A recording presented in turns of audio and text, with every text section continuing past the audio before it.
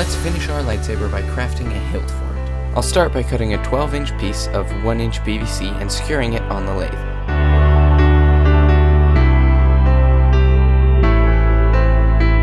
This is what it looks like after we finish with the lathe. On the bottom of the hilt, I'll set our 9 volt down and use a marker to mark out the four corners, and then file out indentations so that we can slot the 9 volt in easily.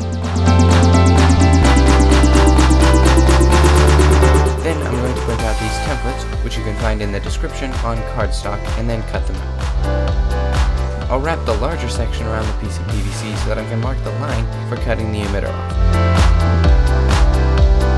Then, on the long side of the emitter, I'll drill a small hole and then mark from the edge of the hole to the end of the emitter. Then I'll use a hacksaw to cut from the end to the hole at the edges to create this nice slot for showcasing the blade. Below that, I'll drill a half inch hole for the button to go through. I'll also cut out a small piece of cardstock that will fit in the end of the hilt.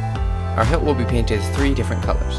The base color, which the PVC will be painted, the main color, which the larger piece of cardstock will be painted, and the accent color, which the other two pieces of cardstock will be painted. Then I'll trim the cardstock around the emitter so it's the proper shape. Now that the pieces are painted, I'll slide on the gold section and glue it down.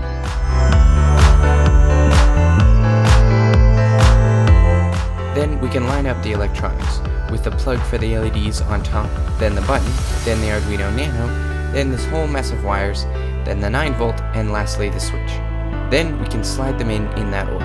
I'll pull the button and the plug for the LEDs all the way out the top of the emitter, and then cut out some small squares of cardboard which I'll glue under the button to keep it at the appropriate height inside the hilt. Then we can slide the button back in, line it up with the hole, and push a button cap through the outside of the hole and click it down onto the button. Then we can take the little silver button cover and glue it down onto the button to cover up both the button and the seat. We can also glue the edges of that down so that it doesn't stick out. Then we can slide in the 9 volt battery, and then we can cut a slit and a rectangular hole in the bottom piece for the switch.